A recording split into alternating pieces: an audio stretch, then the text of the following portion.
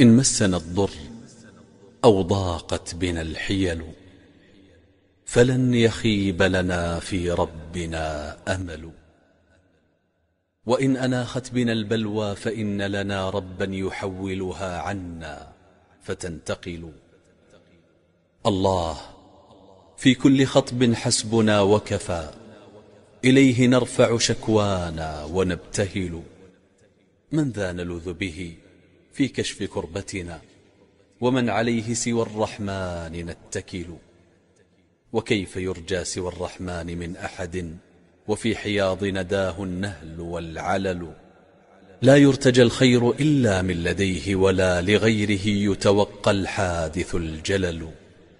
خزائن الله تغني كل مفتقر وفي يد الله للسؤال ما سألوا.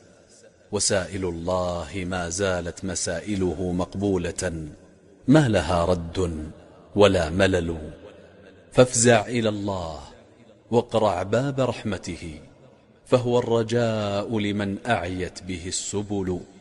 وأحسن الظن في مولاك وارض بما أولاك ينحل عنك البؤس والوجل. وإن أصابك عسر فانتظر فرجا. فالعسر باليسر مقرون ومتصل كم أنقذ الله مضطرا برحمته وكم أنال ذوي الآمال ما أملوا.